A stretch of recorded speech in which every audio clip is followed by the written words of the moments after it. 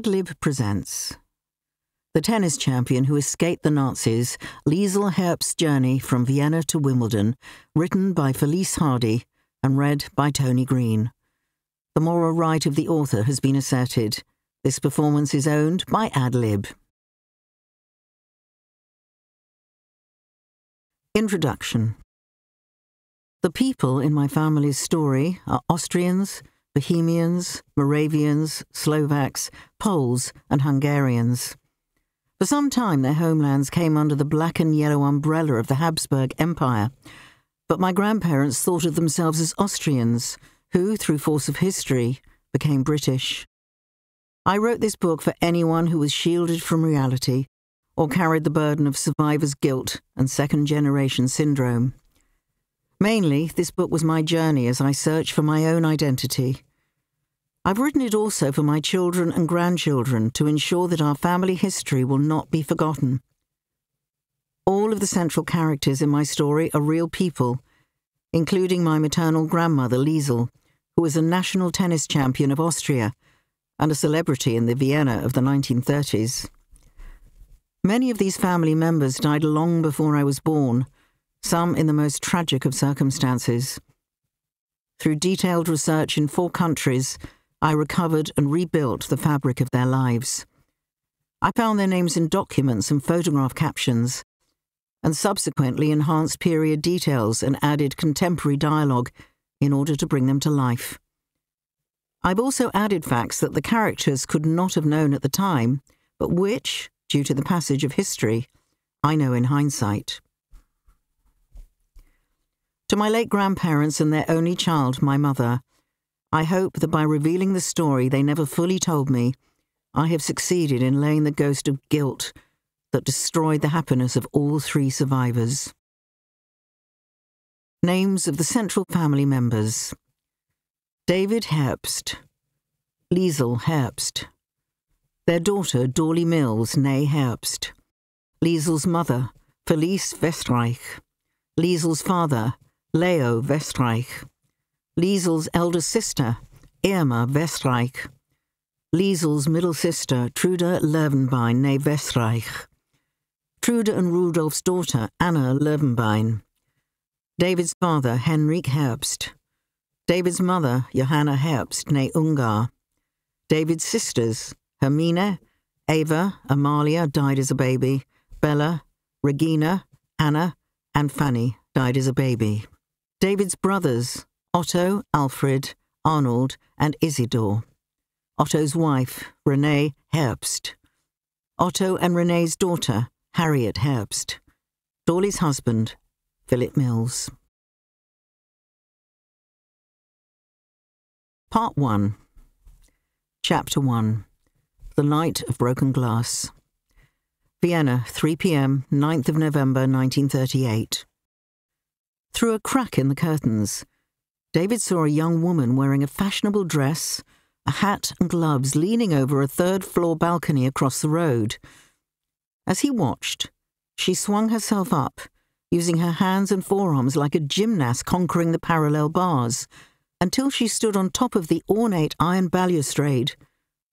She balanced there for a full minute, keeping her gaze upward towards the sky, rather than the pavement below. No. David gripped the curtain, his heart pumping. The woman tumbled forward and disappeared from sight. David moved back, covered his mouth with his hand, and shook his head in disbelief. When he looked again, he could just make out her broken body on the pavement. The roots of this evil had started to spread half a decade earlier, when a law was passed in April 1933 banning Jews from working in the German civil service. The Nuremberg race laws followed in 1935, officially segregating them from the rest of the population. From the fragile safety of Vienna, David and his wife Liesl watched as daily life for the Jews and other undesirable minorities became a nightmare in Germany. We live in another country in a fine city renowned for its tolerance, they told themselves. It surely can't happen here. Nonetheless, neighbouring Austria was doomed to follow Germany's lead.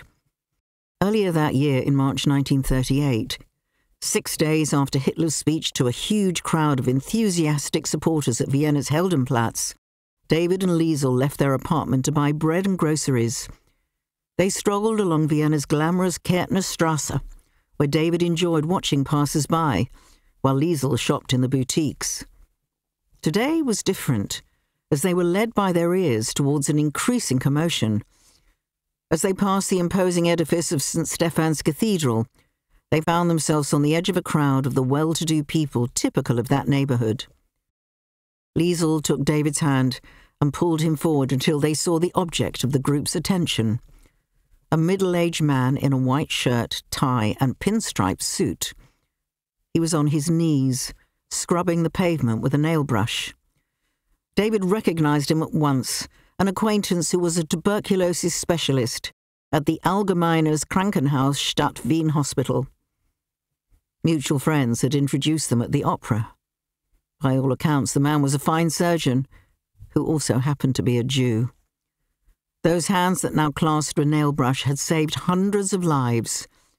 Standing over him and assisting by slopping water over him and the pavement with a bucket was one of the brown shirts, a member of the Nazi Party's paramilitary wing. The poor man, David murmured, stepping forward. Not now, hissed Liesl, trembling she squeezed his arm tightly. She is right, thought David. There's nothing I can do that will lessen the man's suffering. Any action on my part will only result in my joining him, and then what of Liesl? In his anger and impotence, the mob's laughter at the fate of the wretched doctor struck him forcibly. Some of them were his own neighbours. David looked around and was horrified to see a uniformed policeman standing idly by at the edge of the crowd, arms crossed, grinning. David and Liesl watched, unable to tear themselves away from the scene, as a woman from the crowd stepped forward and straddled the doctor, one leg on either side of his miserable body. She was in her early thirties, with peroxide blonde hair dressed in a maroon skirt with six outsized buttons down the front. Smiling coquettishly at her audience, she unfastened the lower buttons of her skirt and then lifted the hem, exposing her stockings, suspender belt, and three inches of marble white flesh. She pulled her underwear to one side and urinated on the head of the physician. The stream ran from nose to chin to his hands, the brush, the pavement. David recoiled as the pack bayed its approval. As they walked away, David saw Liesl was crying. She too had noticed the woman's silk stockings. They were of the distinctive pattern and cut that David made in his factory. Now, eight months later, the hatred had peaked again. It was Wednesday, the 9th of November, the day after Liesl's 35th birthday, and David was alone. Liesl and the young daughter Dorli were in a safe place, but David was so lonely he wanted to cry. I wish they were with me, he reflected, but it would have been too dangerous for them to have stayed. During the long summer evenings of 1938, David had built a hideaway in the attic of one of his office buildings. He'd bought the anonymous edifice two years earlier, but it had remained largely empty, used only occasionally for warehousing. Most important of all, David's name, or, for that matter, the name of any other Jew, was not on the title deeds. It seemed preposterous that he might be forced to skulk behind the skirting boards, but planning for the unforeseen was perhaps David's greatest business strength. When he'd sneaked the tools and materials inside, he wondered if he was being too dramatic. Every time he hammered in a nail, he held his breath and listened between each blow, worried that someone might hear and come to investigate. The hiding place wasn't a big room, but it could house up to three people if necessary. David sealed off the entrance with an old wooden storage chest mounted on four casters. To enter, he heaved out the chest, which was hinged to the wall. Once inside the secret room, he pulled back the trunk and locked it into place with a wire looped around a nail. Anyone opening the chest on the outside would find it full of old stocking samples on top of a false wooden floor. The room was basic but habitable. In daytime, a small window provided light. At night, he waited for his eyes to adjust to the gloom before lighting a candle. he equipped the secret room with a single mattress, makeshift curtains, tinned food, a tank of water, and a lidded bucket that served as a commode. When he looked at his handiwork, he felt an odd sense of pride. That night, alone and frightened, David used the hideaway for the first time. There was no telling when they would come to arrest him, but they surely would. Lying prone on the mattress, he could hear bangs and screams and smell the burning outside. He stood up, reached for his opera glasses, and looked out. The street gleamed with shattered glass. In the months since the Anschluss, the Nazi occupation of Austria, he'd tried to stay one step ahead of events, but even in his wildest nightmares, David never imagined it would come to this. The broken body on the pavement was, for David, the climax of this horror so far. He found himself wondering whether his young neighbour had taken special pains to dress up for her death. Afterwards, he'd crouched on the floor for hours, not daring to move, until the first light of morning slithered through the window. Street lamps were smashed, buildings smouldered throughout the city, and flurries of wind blew leaflets across the ruins like oversized confetti. It was growing warm in his hideaway, and an acrid stink snaked its way into the room. Cautiously, he opened the window a slit. It could have been on his front door that the hammer fell in staccato bursts, but it wasn't. The chosen door could have been a gleaming red like his, or black and chipped like that of his neighbours, the Kleins. When at twelve minutes past eight the following morning, the roulette ball bounced around the wheel, and settled on black. David was still in his hideaway and again witnessed a horrifying events when a man wielding a hammer banged on his neighbour's door. The hammer bearer stood back, and Samuel Klein walked out. He was a tall and cadaverously thin figure in his mid fifties, a high school teacher, but no longer allowed to work. With a wife and three children to care for, he didn't have a Reichsmark with which to feed them. His winter coat, David presumed, had long since been exchanged for food. Now, in the growing light, Hammerbearer looked around for support from the gathering crowd, his SA paramilitary uniform giving him a new and previously non existent authority. In reality, he was a short, round man, but in his role as a brown shirt, he saw himself as a muscular emblem of Aryan manhood. So there you are, you filthy Jewish pig, he barked at the pyjama clad figure in the doorway. Where's the money stolen from true Austrians, you parasite? Samuel glanced around for help, but none was forthcoming. Please, leave us. Leave us alone. I'm not stolen anything, he implored. The brown shirt was left handed. David tracked the hammer as it arced to the right, a backhand drive delivered with winning force. The face of the weapon struck Samuel on the temple, and he crashed to the cobbles. Hammerbearer raised his arms, seeking applause like a matador in a bull ring. All around him, ordinary Viennese people swept up into something ugly, cheered and whistled their encouragement. Samuel lay where he fell. A thick rivulet of blood trickled across the cobbles. The attacker basked in the crowd's adoration for a few seconds, then looked around now clearly bewildered by his own actions. He bowed his head. Unexpectedly, a shape appeared from the neighbouring building, launching himself across the stones and lifting Samuel's body into his arms. The hammer bearer raised his weapon again, and this man fell also, as the tool struck him on the back of the head. Four other brown shirts arrived and bundled the second body into a truck. Even in the faint light, David couldn't mistake the figure. It was Liesl's cousin, Emil, a High Court judge from Ostrava, staying in Vienna for a week of theatre and music. Now, he'd been taken. In Vienna alone, the National Socialist Party, the Nazis, injured and arrested hundreds of Jews that night. Armed militia had sprung up on every corner as if from dragon's teeth, like those from the ancient Greek myth that were planted and then grew into warriors. Uniformed youths dragged old men by their beards. They beat anyone who was slow to comply with their orders until, Like downtrodden dogs, people obeyed. David had seen the build-up of terror, moving out of his flat just in time. David was my grandfather. Chapter 2 Going Back Vienna, November 2015. As I placed a candle near the altar, I sensed a presence behind me. When I turned to look, there was an empty space. Thank you, came a whisper, for remembering us. A frisson of warmth ran through me. Was it my imagination? I'd never been sensitive to ghosts before, but my grandmother Liesl seemed to be here with me. It was the 13th of November when I stood in the flickering dark of St. Stephan's Cathedral, a non Catholic in a public space that emanated a sensation of peace that was unexpected. The windows were suffused with a rainbow of colours, and stone angels peered directly down, their frozen features threatening movement.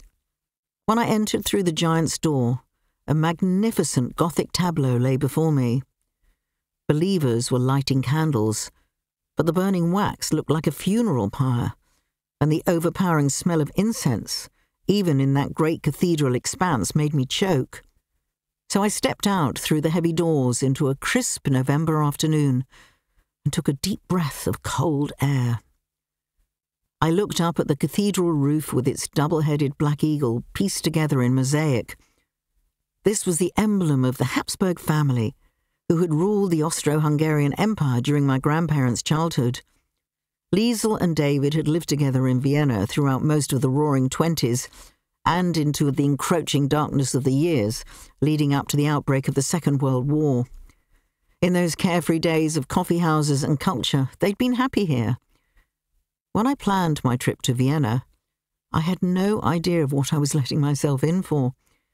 I'd visited the city once before as a student, but was a lot more interested in the bars my Austrian boyfriend took me to than in exploring the culture, or indeed my family's history.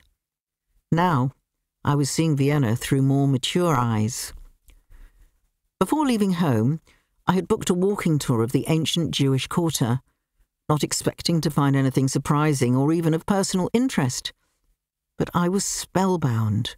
My guide, Barbara, a petite woman with mocha brown hair, spoke perfect English and had an encyclopedic knowledge of her home city. As we strolled through the medieval area, she mentioned that her hobby was helping families research their ancestors. We stopped in front of a steel and concrete monument that was shockingly stark beside its neighbouring buildings. The Holocaust Memorial, known as the Nameless Library, resembles a collection of hundreds of books, their spines facing inward, invisible. Engraved on the back and sides of the memorial are the names of the 45 concentration camps where Austrians were murdered. Most of them, apart from Auschwitz, Dachau, and a couple of others, were unrecognizable to me. Barbara also pointed out the bronze cobblestones, known as Stolpersteine, stumbling stones in English, planted into the walls and pavements. They marked the places where Nazi victims had last lived before they were taken away. Each one bore a name, birth, and death dates. After my epiphany in Vienna, I knew that I needed to honour my grandparents' lives, so I took a blind leap of personal discovery. When I arrived home, I gathered together everything I'd collected and scribbled in a notebook the names and places remembered from snatches of conversation with my grandparents during my childhood. I'd see no reason to ask them for more details. Back then, it didn't seem right to pry. Now it was too late. I also wrote an email to my Viennese guide filling her in on what I knew. 17th of November 2015. Dear Barbara, thank you so much for the excellent walking tour last Friday. I found it fascinating. You mentioned that you could help me research my mother who was born in Vienna. Here are the details. Her name was Dorrit Ruth Herbst. Parents were Liesl, Elizabeth, and Deja, David, Herbst. Liesl Westreich was born in Jägendorf. I don't know where my grandfather Deja was born, but I think it was Hungary. My grandfather had a business in Vienna together with his brother, manufacturing stockings. They had a factory in Berlin and another one, or perhaps it was an office near the votive church, Rooseveltplatz. They all emigrated to the UK. This is the only information I have at the moment, although there's a suitcase full of letters, all of them in German, which I am unable to understand. I will see if I can find anything else that is relevant. I hope you can help. Felice. Looking at my email now, I can't believe how wrong I was about almost everything. Chapter 3 Snapshots of the Past. London, 1960s. Tell me about the time you jumped out of a moving horse carriage, I asked my grandmother Liesl when I was a child. She smiled her half smile. The jump was my favourite story, and I also loved the one where, as a small girl, she used to slip away from her home to lie under a leaking barrel of chocolate liqueur in her father's distillery, lapping up the drops. And there were lots more. Always happy tales about her escapades as a child. But whenever I asked about her family, a frown would crease her face and she'd change the subject. When I posed questions, it was like touching an open wound. She flinched. From an early age, I recognized the barbed wire boundaries in her life I would never be able to cross.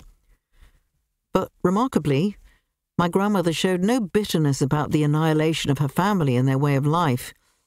She was friendly towards all Austrians and Germans, returning to Vienna every year after the war for the opera and shopping. She liked to buy her underwear from one particular shop on the Kärntner Strasse. She felt Austrian. She adored the sound of music, taking me to see the film several times when I was a child. In the opening scene, while the audience watched aerial scenes of Salzburg, I would squirm in my seat as she gave a running commentary in a loud voice. On the way home in the car, she'd tell me her stories. I listened, but I didn't always take them in. She was keen for me to learn the piano as she herself had done to a high standard. My favourite piece was Beethoven's Für Elise, which she loved to hear me play.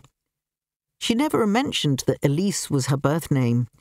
I'd only ever heard of her being referred to as Liesl or Lisa. My grandfather David wasn't much of a storyteller.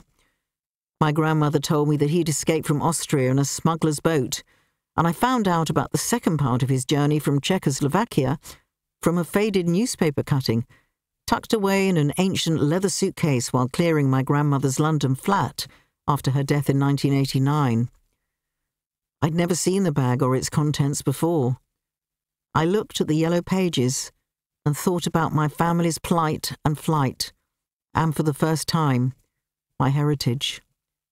Survival or subterfuge, call it what you will, but my panacea for the pain that engulfed my grandparents and my mother for most of their lives was to hide my background at every opportunity. I was so removed from my roots that I lacked any cultural grounding. It was a huge and destructive secret that I carried. Psychologists have long since acknowledged that the aftershocks of the Holocaust are also visited on the children and grandchildren of survivors. Studies of human exposed to traumatic situations warn that they and their children may suffer various problems with their mental health. It's better if you don't tell people about your Jewish roots, my mother once said. Why? I asked. Because anti Semitism may seem dormant, but it's only a matter of time before it will erupt when you least expect. Ethnic cleansing shredded the entire fabric of my grandparents' and my mother's lives. It was hard for them to comprehend let alone accept, that having fought so hard to stay alive, there was no joy in survival. By the time I was born, my grandparents and my mother were completely different people from the ones captured in their pre war black and white photographs. Although my grandfather came from a religious background, my grandmother was raised in a household where attendance at the synagogue in small town Moravia was a cultural and social requirement rather than an expression of faith. After the trauma my family experienced, my grandmother thought it made sense on arrival in England to assign any religious observance to the attic. My mother also shared nothing about her childhood with me. If I could ask her now, she would say that they lied to me for my own good. Certainly they were then, and sadly remain today, echoes of anti Semitism in England, the country where I was born. So I never set foot inside a synagogue, and religious holidays were not observed. Instead, my mother raised me in a way that tacitly allowed outsiders to assume I was a non denominational Christian, one who played lip service to the Church of England, the same as my school friends. I was destined to be raised as a typical middle class English girl. When I was about a year old, we moved to Astell Street, a quiet London road, where the old workers' cottages had recently been bulldozed and neo Georgian houses erected in their place. Our front garden was regularly voted prettiest small garden in Chelsea, or so my mother told me. I saw no sign of a prize. The only award in evidence was an enormous tennis trophy that adorned the writing desk in the sitting room. The house was approached via a gravel drive that was shared with the twin property next door. An arch ran from one flat roof to another, on top of which stood a statue of Sir Thomas More. It marked the spot where the great man once lived. The front door was of varnished oak, and this led into a black and white tiled hall. To the left, a sitting room with a built in electric fire, and an entrance to a pocket sized back garden. All the doors and downstairs windows had bars on them. My mother said it was because burglars in a removal van once went to a neighbour's house while they were on holiday and cleared out every stick of furniture, even the fitted carpets. But I wonder now if such protection might have been for fear of losing what was hers. From the age of about ten, my friend Caroline used to collect me on Christmas morning. Her mother was a prima ballerina, and Caroline always walked on tiptoes. We'd go to St Luke's Church on Sydney Street to attend the carol service. My sister was nearly four years our junior, but we could only go if we took her along. We had to cross two roads, and one year they were thick with snow. I never questioned why my mother let us go alone, but I realize now she would never have contemplated entering any house of religion. A childhood spent burying the past meant that when I met my husband, I agonized for days before telling him about my heritage. What if he rejected me? Peter looked puzzled when I finally found the courage to raise the subject over lunch in a restaurant in London's Pimlico. I was relieved at his reaction and told him so, but he struggled to understand why I had been hiding my heritage. We know about Holocaust deniers, but here I was, the Jewish denier I was raised to be, and who I continue to be for many years. I remain a religious agnostic, but culturally I am coming out. I am no longer silent. The second half of Liesl and David's lives, the part I shared with them, was haunted by legions of ghosts, the spectres of their immediate families, parents, brothers and sisters, uncles and aunts who died in the camps, along with cousins, friends, and neighbours never left their consciousness. I too was haunted, although I didn't know why. When I was young, my favourite game was playing hide and seek with my friends. I loved squeezing into dark wardrobes. But the consequences were nightmares in which I frantically tried to escape from the demons that chased me. I told no one about my dreams, and as an adult, I suffer from claustrophobia. Yes, my mother and grandparents survived the Holocaust. So too did four of David's nine siblings who settled in Mexico, Israel, Britain, and the US. But I only knew a fraction of this before I went to Vienna, and only now do I understand that it was too painful for David and Liesl to talk about what had been their happily family life in 1920s and 1930s Central Europe. It was not a life they had chosen to leave behind, but rather one that was snatched from them I thought I knew my grandparents, but who had they really been? Chapter 4 Digging for Roots Czech Republic and Slovakia, summer 2016. I plunged into my research and in May 2016 contacted the Jewish Museum in Prague. Thanks to Barbara in Vienna, I now knew of a link between my grandmother and the Czech Republic. The museum suggested hiring local expert help. I provided some details, and a researcher would do the rest. Now I knew for sure that neither of my grandparents had been born in Austria, as I had always believed, but rather their early years were spent in remote outposts of the Habsburg Empire. My grandmother was born in a town called Jägendorf, which I'd assumed, due to its German name, was in Austria. It was actually in Moravia, which, when Liesl was born, was part of the Austro Hungarian Empire. Today, the town is called Krnov and is in the Czech Republic. I also learnt the name of my grandmother's elder sister, Irma, who I'd never heard of before. I now had a history of my great aunt, middle sister Trude, along with the names of her husbands, all three of them, and a daughter. Magda had traced the relevant birth, marriage, and death certificates. My grandparents' marriage certificate showed that my grandfather came from the town of Podolinek, which is today in Slovakia. I now had further names to go on, and the addresses of the archives to contact in order to find out more about Truda and her family. Slowly, my ancestors were coming to life. My trip to Slovakia was in August 2018, a few years into my detective work on David's life. I flew to Bratislava and stayed in a riverboat moored on a bank of the Danube. As I roamed around the centre of Bratislava on my two day visit, I tried to picture the city in my grandfather's day in the later years of La Belle Epoque. By 1930, some 15,000 Jews lived in the city, constituting 12% of the population. From Bratislava, I caught a train to the market town of Kežmarok.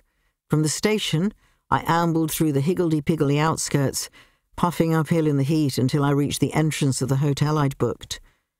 The building was halfway along Kežmarok's medieval high street and next door to a museum of local history. The museum's rooms had been restored to look as they would have in my grandfather's day and smelt of beeswax polish with heavy wooden furniture, damask upholstery, and dark oil paintings.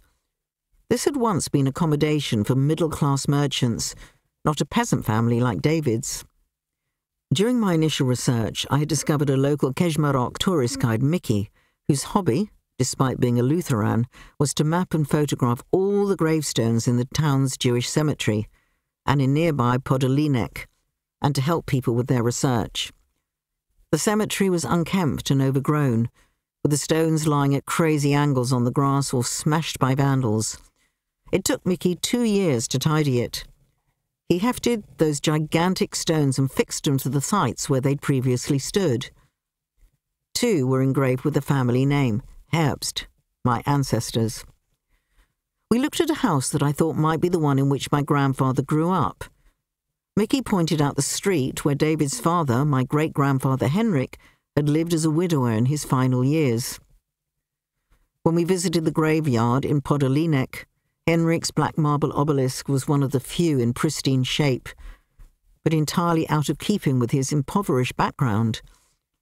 I imagined that my grandfather, and perhaps some of his siblings, had clubbed together to pay for it. From the Kežmarok archives, I now had names and dates, records of the births and some of the deaths of my grandfather's siblings and of his parents. I knew where they'd come from, and I had seen the places they'd passed as they went about their lives. Could it be that the little town of Podolinek held the corner pieces to the jigsaw of David's life? Ever since 1991, the year after my grandmother died, an unearthly energy had been pulling me towards Slovakia. A ripple of magic ran through me. Chapter 5 David's Childhood Slovakia, 1896 to 1911. David Herbst arrived in the world on the 21st of May, 1896, a month after the first modern Olympic Games took place in Athens which had tennis as one of the core sports. He was the ninth child to be born into a family that lived in Podolinek, a town with a population of around 1,700 in the year he was born. His father, Henrik, with his deep brown eyes and luxuriant black beard, was a respected figure in the community. David somehow survived and thrived among an ever increasing number of siblings. David's mother, Johanna, also known as Sally, was a shapely woman who came from Grzybów in Poland. She'd been introduced to Henrik in Prešov, which was halfway between these two towns. During Henrik's 72 year lifespan, He never strayed more than 50 kilometres from his birthplace, and the same could be said for most of his friends. Tata, I want to see the world, David said to his father one day when he was helping him bring in wood for the fire. Places like Pressburg, Budapest, and Vienna. I just can't imagine their size or the number of people that live in them. I don't know about that, son, Henrik replied, putting down a load. We know everyone in town. We all look after each other. The outside world is a strange place. One day I will go before I have a family of my own, David said. Uh, that idea does not please me. But, with so many of you children, some are bound to move elsewhere, his father said, eyes downcast. I had hoped for my sons to marry Jewish girls from the village or the neighbouring one. The family cultivated a vegetable patch and kept chickens, three goats, two cows, and an old horse that lived in a paddock outside the back door. Henrik had a fine singing voice and was a cantor, prayer leader at the synagogue. He partly fed his family on the produce from his small holding. Johanna milked the cows early every morning before cleaning the house and washing the family's laundry in the river. She pommeled the clothes against a smooth rock and took the laundry home before removing the wicker basket from the top of the dresser to shop for the food needed to fill the many mouths. Like kittens, the children were never satisfied, so she often ate little herself. Henrik tended to the vegetable patch, but his principal job was churning the milk to butter, massaging the pats into shape with wooden paddles before selling his produce in the market. He worked in a leaky outhouse and in winter he blew on his fingers and rubbed his hands together to keep them warm. Come and help, I have quite a load here, he called to the five boys. One of you wrap the butter and another attach the labels. Careful now, you'll drop it on the floor. Don't push, the tallest and most serious brother said. I want a turn, said the chubbiest, who was handsome with inky hair and aquamarine eyes. It's not fair that Alfred gets the best jobs. He jabbed a finger into one of the butter pats. Well, we all know who gets more than their fair share of food, another brother said. Be quiet, boys, their father said. There's a job for everyone here. Someone, please take the animals outside. Me, David shouted. Come on, Otto, let's go. The boys raced into the yard. The air smelled of potatoes and manure. A dog howled. Let's come play, Otto said. They took off their shoes, ran around the dung, and jumped across. On David's first go, he landed splat in the middle. The still warm heap gave him a squidgy sensation between the toes, and was well worth the telling off he'd receive later. When it was Otto's turn, he failed to keep his balance. Brown liquid soaked his shirt and shorts, spurting onto his arms and legs. He grimaced as he wiped the watery mess off his face and combed his hair with dripping fingers.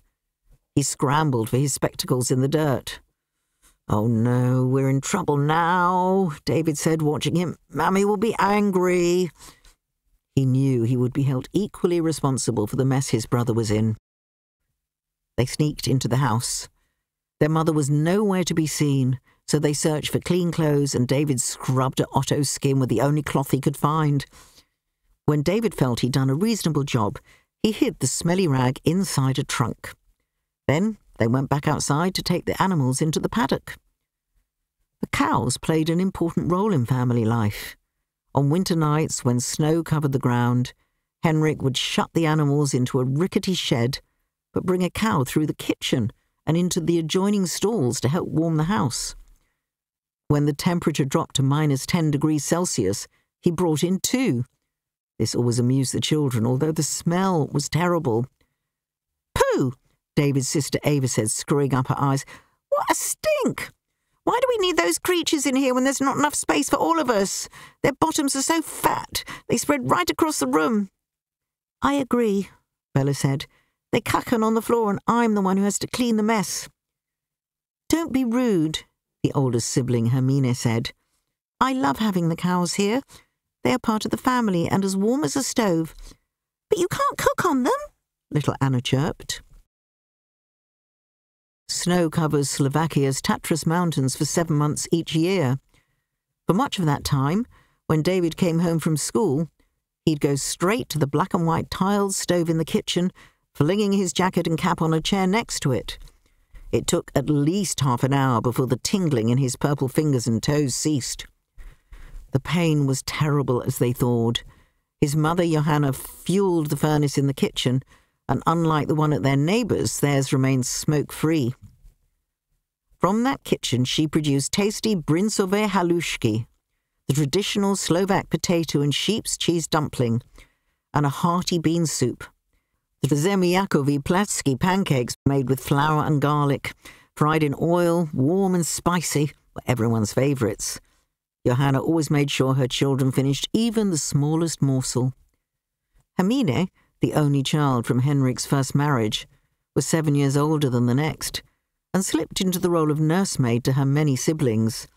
She shared a room with four more sisters, but was given her own bed. The others slept end to end, squealing whenever their icy toes touched.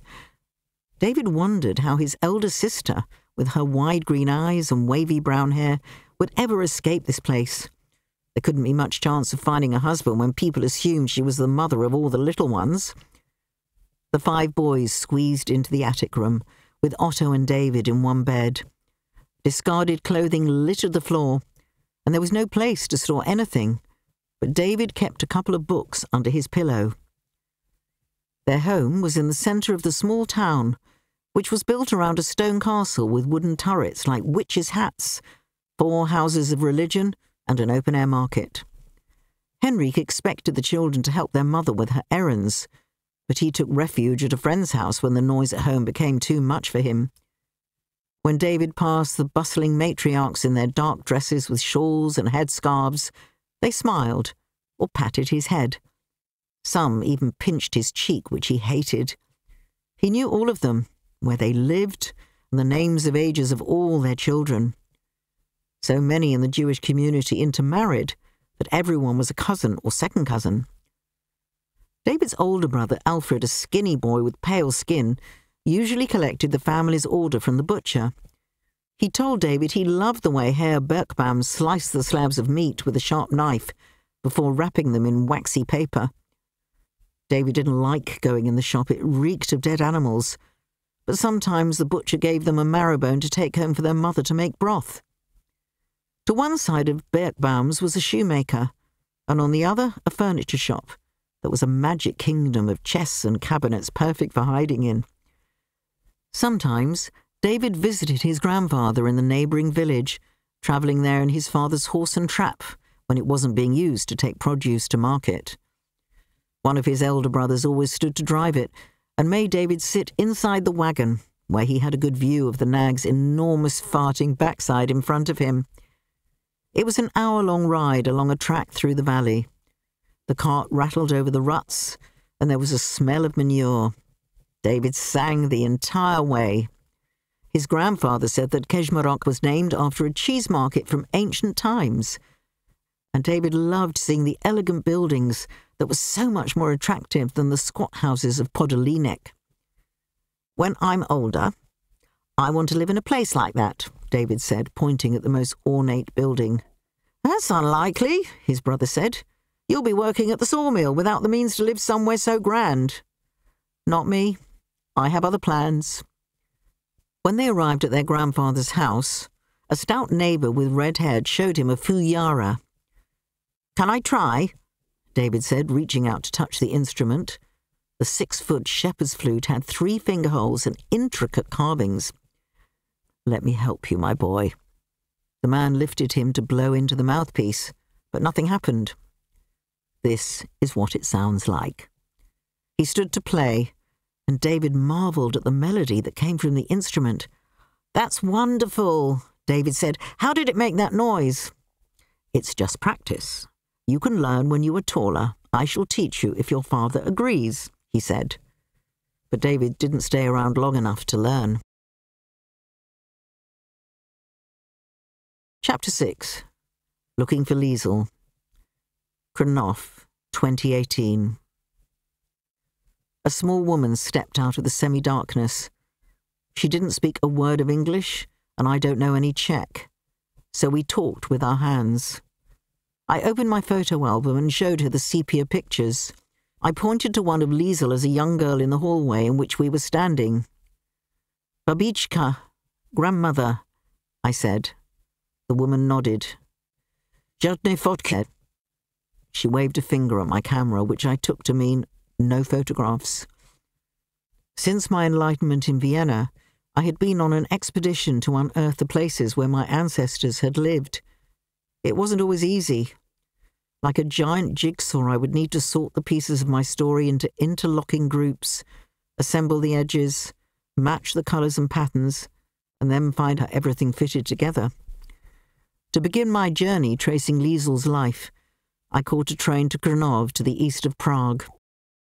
I dragged my suitcase along the street away from the railway tracks on a sultry August afternoon. I'd booked a small apartment on the outskirts of the sprawling town. In the early evening, I strolled into the centre along a wide and empty ring road by the river. As I reached a roundabout, I spotted an ornate house that had seen better days. The brass plate on the gate read, Vestraikova Villa Pracovni Centra, Villa Vestraik, Job Centre. Vestraik was my grandmother's maiden name. The hairs on my back of my neck prickled, and I paused for a minute to take it in. All I could think about was how dismayed my grandmother would have been to learn that her childhood home was now a municipal job centre. The following morning, I decided to first explore outside the house. I found the staircase into the garden where my photo album included a picture of my grandmother and her sister Truda posing in military caps and overcoats this was the spot. It was unmistakable. When I'd finished roaming around the neglected garden, I climbed the stone front steps and, armed with the album, knocked on the door. After the rather officious supervisor gave her consent for me to look around the house, she disappeared back into her dark office. I traipsed from the entrance hall into a large but unused room, which led, in turn, into the conservatory. In another of Liesl's photos, Truda sits at a table covered in a lace cloth, with potted plants, baskets, and vases of flowers on display. For me, the highlight of the house was the sweeping staircase to the first floor. Although upstairs the former bedrooms had been sliced up like pieces of cake, and in each one I found a woman at a workstation. This had been my grandmother's much loved family home in the early years of the 20th century. Now, the heart of it had been sucked out. The adjoining distillery, the source of my maternal grandparents' wealth, had completely vanished. My great grandfather, Leo Vestraik, had been an accountant from Ostrava. In 1885, his sister Sidonie had married Siegfried Gessler. Siegfried founded Gessler's distillery in Jägerndorf in 1878, when he was just 24 years old. When the two men met, Siegfried knew immediately that he wanted Leo to work for him, for his brother in law was just the sort of forward thinking man that he needed in his business. Their most popular brand was Altvater, a herbal and alcoholic tonic named after the local mountain range, and Leo ensured that its fame spread far and wide on the basis of its effects on the digestive and nervous system and the formation of blood cells. The Prince of Wales, Later, Edward VII was a fan. Archduke Ferdinand himself was so partial to a drop or two after dinner that he granted Gesslers the equivalent of a royal warrant by appointment. Johann Schroth, a naturopath of the time, who was an early believer in fasting, recommended Altvater for drivers, cyclists, and hunters. The exact recipe for Altvater remained a closely guarded family secret all Leo would reveal was that it contained 16 varieties of herbs and fruits, both indigenous and non indigenous, in an alcohol base which is sweetened with sugar. It has hints of cinnamon, orange peel, wormwood, lavender, and nutmeg flower. I knew from old architectural plans that the distillery building had a flat roof. On the ground floor, Enormous warehouse doors opened onto a boiler room and a still room with copper boilers. Access to the basement was from both the yard and from the ground floor via a wrought iron spiral staircase. The first floor was used as a warehouse, partitioned by wood panelled walls and five wooden pillars. Barrels of rum and brandy formed the basic ingredients for the company's liqueurs. After Siegfried's early death on New Year's Day 1890, aged 35, Sidonie handed over the management of the company to Leo, with the two of them remaining the principal shareholders. Leo ran the business for over 30 years. He always discussed everything with his wife Felice and asked her opinion on all decisions. When he suddenly died of a heart attack in December 1922, aged 61, it was a great shock to the family, and Felice felt alone and vulnerable. She now took over the running of the distillery with Sidonie, and it was highly unusual for a business to be run by women. In those days, they were expected to keep quiet and never express opinions, although this applied less to Jewish women than to others. Records in the local archives show that the two of them brought about some dramatic changes to make life more pleasant for their staff. Gessler's workers enrolled in a local sickness fund, which gave them free medical treatment, sick leave, four weeks maternity leave, and a funeral allowance. Elsewhere in Bohemia and Moravia, working conditions were worse than in Western Europe, and often much of the workforce was undernourished.